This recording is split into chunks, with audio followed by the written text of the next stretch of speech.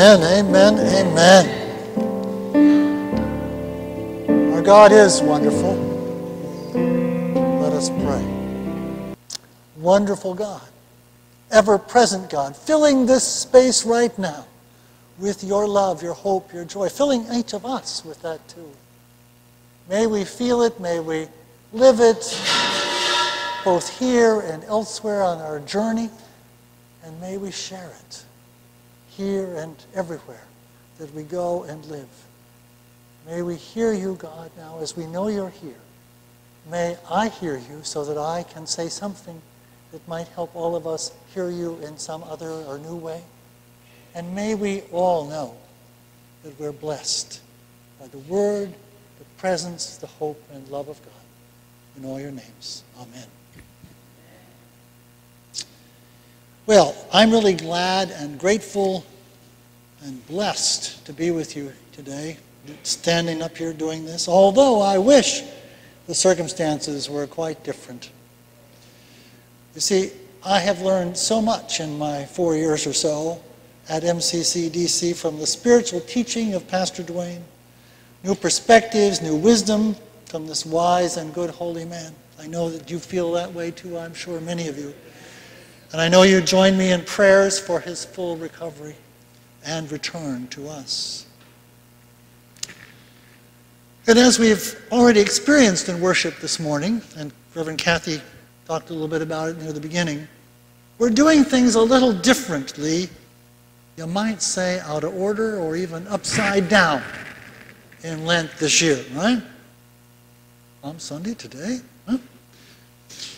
But the deliberate upending of the way we usually do things is, I believe, precisely what the entry into Jerusalem by Jesus riding the donkey, what that's all about.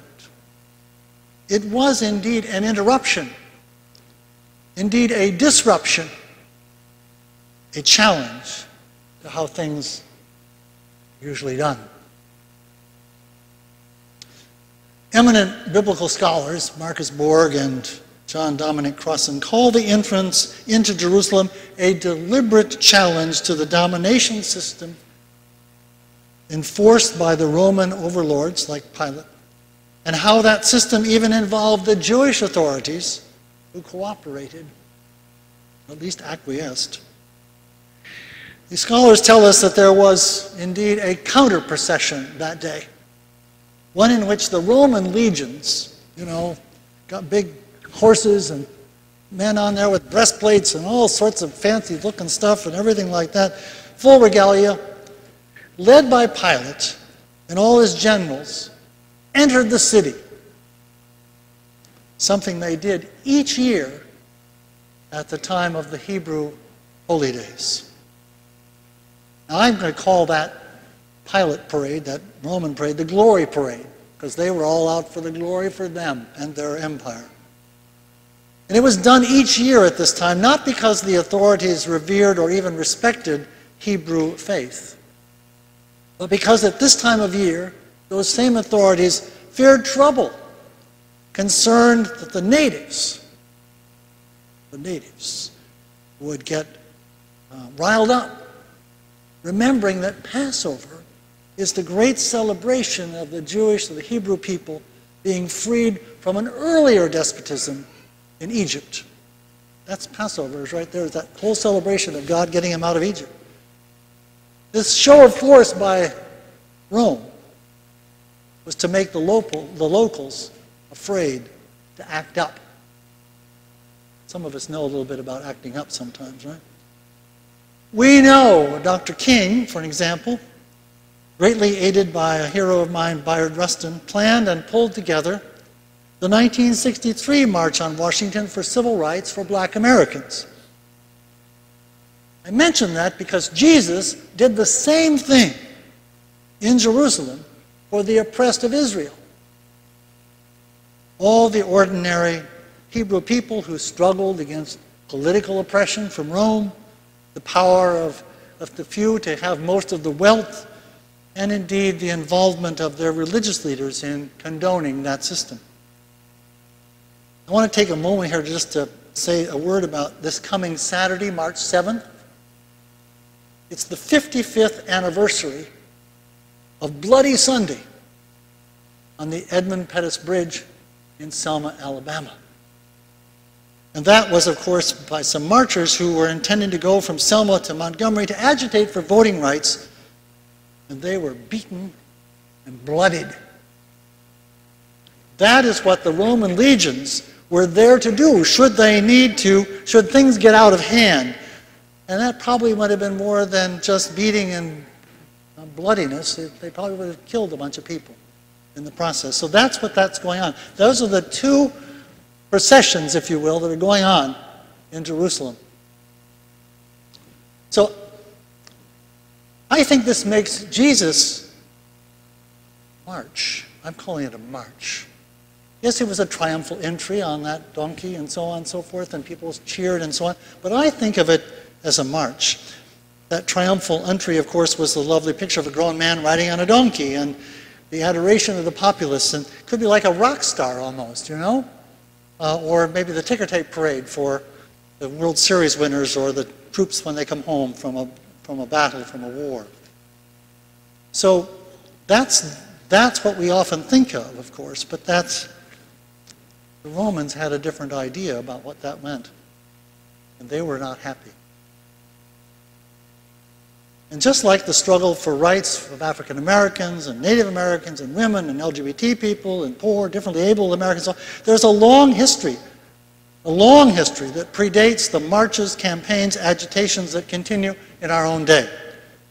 You might call it a marathon. Now, our first reading from Zechariah chapter 9, verses 9 to 10, tells us more of the history than Matthew quotes in the gospel passage today. He does quote Zechariah, but he only, he only does part of it. This prophet shared the ancient Hebrew teaching that the new ruler of God's people would change everything. That ruler, we might say even the Messiah, would end the tyranny they endured free them from bondage, but also would come in peace, come, coming to end war, to make the nations live in peace and harmony. And that ruler would reign over and with everyone, for everyone, for the well being of all and for all time. You might almost say it's like, the, like a counter empire to Rome. It's the empire of, the, of all for all. Everybody, everybody is welcome and blessed and so on. So, you know, that's about as clear a challenge to Rome, Pilate and the boys, and their religious enablers as you can get. That was a pretty direct challenge. And Jesus led it. Jesus inspired it. He even organized it. You know that? You realize that? That's what that means when he sends those disciples. He's organizing this thing to happen at a particular time.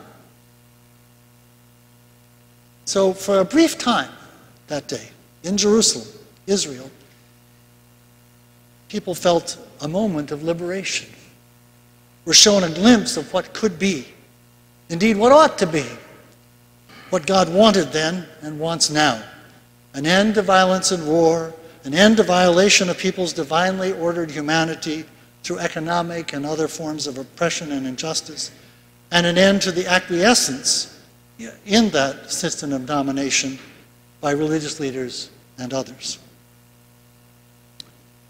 No wonder Jesus is on that cross five days later. That's what they knew was intended, as authorities, and they didn't want to have that get out of hand. So, where does that leave us today? Well, I'm reminded that the march for this kind of world of peace and plenty and dignity for all is ongoing.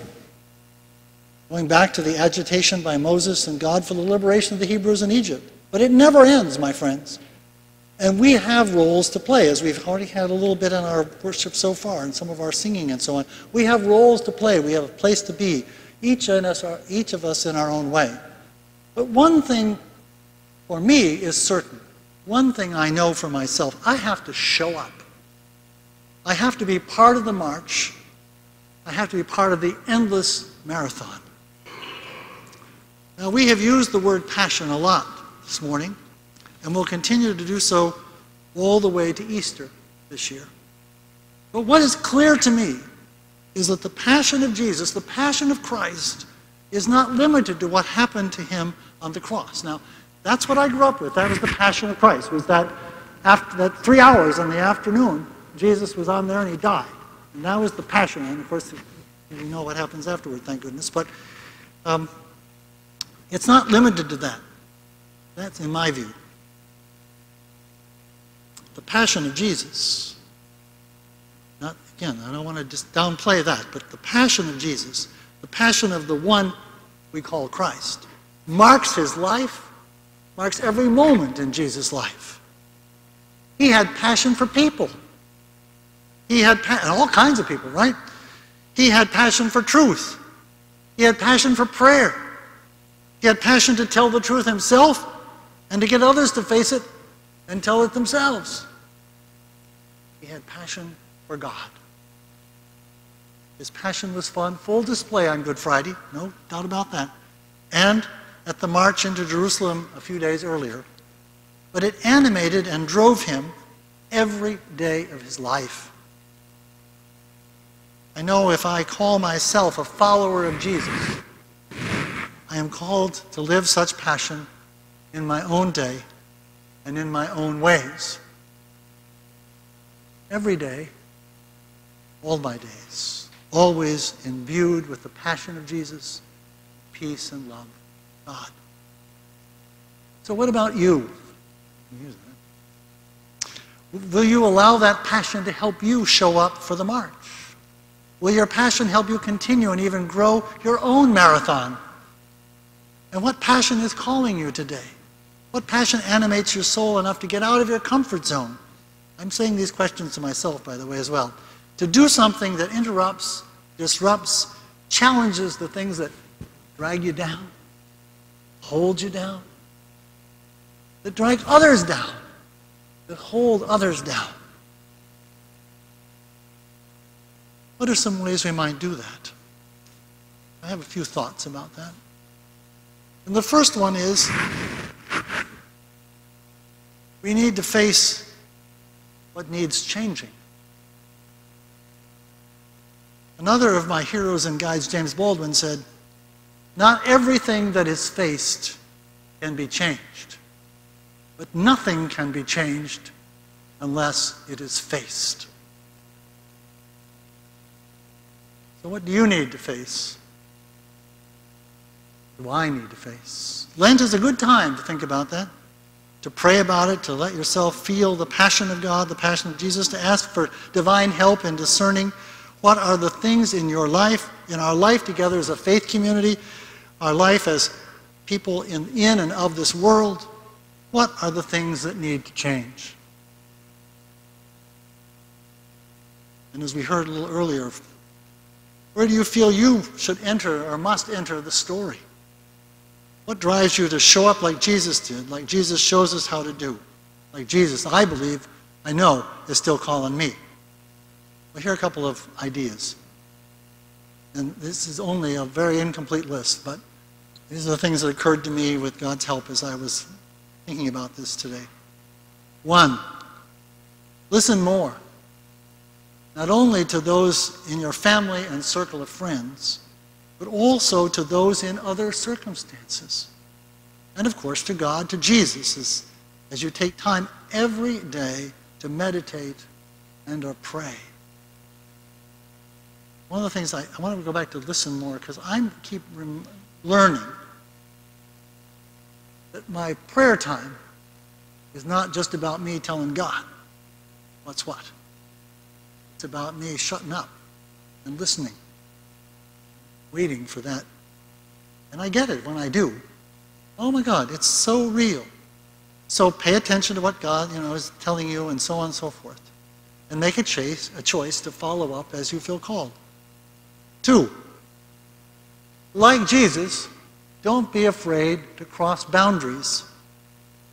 in our starkly divided nation and world right now, it is imperative, imperative that we connect with those whose lives, whose opinions, whose priorities differ from ours. You know, I, I have a couple of examples I'm going to say quickly, but there was a suburban hockey mom in Maryland, actually. It's in the Post the other day. And her son played hockey, of course, in the school, and he had a, a black teammate, friend, dear friend. And that black team, this isn't something that just happened 50 years ago or 20 years ago. This just happened recently, last year, who was really badly damaged by the racist taunts and words that came at him as he was playing a game of hockey. So what did she do? This wasn't even her son. This was the friend of her son. She started a campaign